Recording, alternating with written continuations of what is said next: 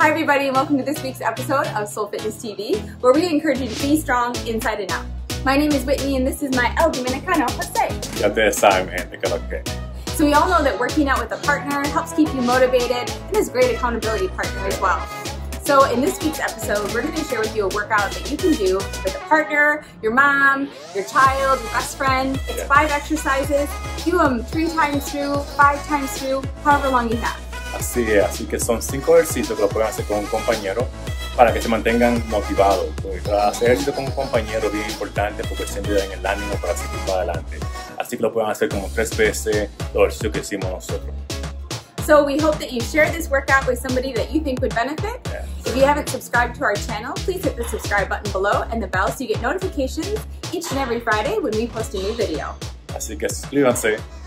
Thank you so much for watching and we'll see you next week. Hasta la próxima. Que Dios los bendiga. We've been driving around, singing songs way too loud because we wanna.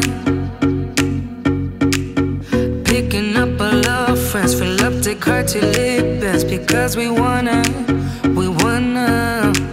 Yeah, we just wanna have fun. The trunk's full of wine. We're gonna stay up, have the time of our lives. The night is young,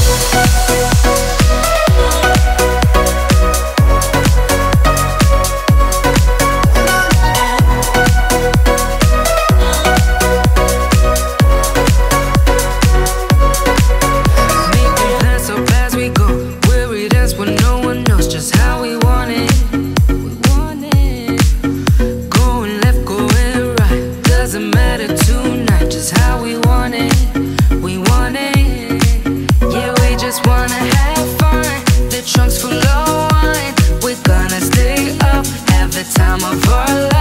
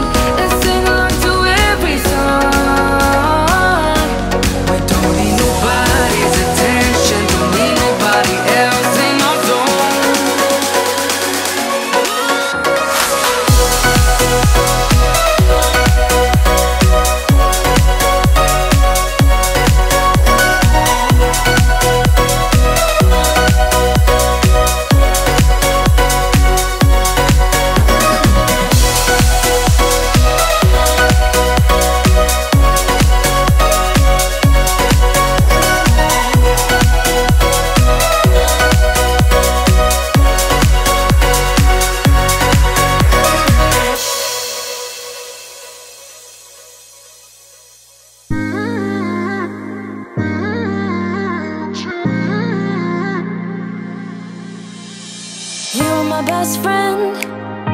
Didn't care about the rules, good on the weekends. I'll be in fools, drifting to deep space. So brave and so stupid, just like the movies. I was gonna stay in the fight with.